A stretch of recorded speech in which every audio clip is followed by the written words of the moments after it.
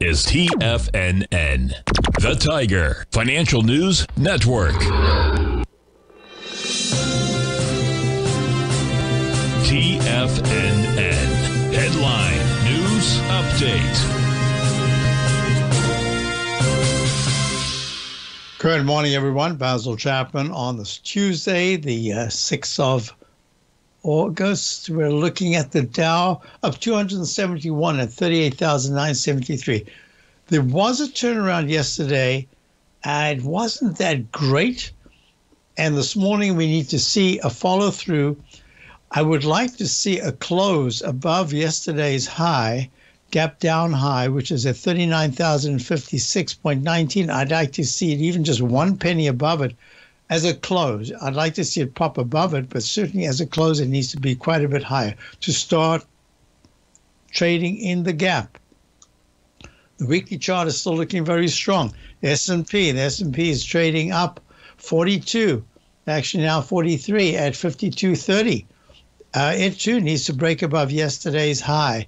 Uh, this is very good action the uh, technicals are still pretty weak, so you need price to actually lead the technicals. That'll be important. QQQ. Index 100 had a very nice turnaround yesterday, trying to follow through from the close of yesterday. It's up at 438.77 of 3.38.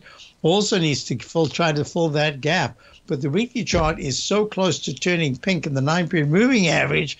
Uh, we've got to watch this going into Friday's close. I, I happen to favor the long side right now of these different indices. Let's just go to uh, the IWM. Russell 2000 is up a dollar thirty-seven at two or three point fifty-one.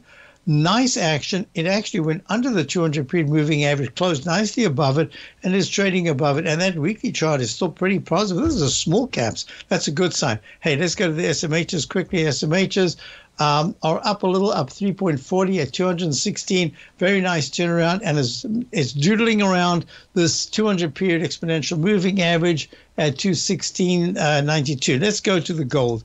Uh, gold at this particular point is down seven at 243.37. Yeah, just stuck in this range. Let's go to the dollar. The dollar uh, try to rally. It's holding uh, 27 ticks at 103.02. Yeah, it got quite a quite a pullback. But most important, what are bonds doing? Bonds actually are giving back some. They're down 22 30 seconds. Um, that was a really big spike over the last week.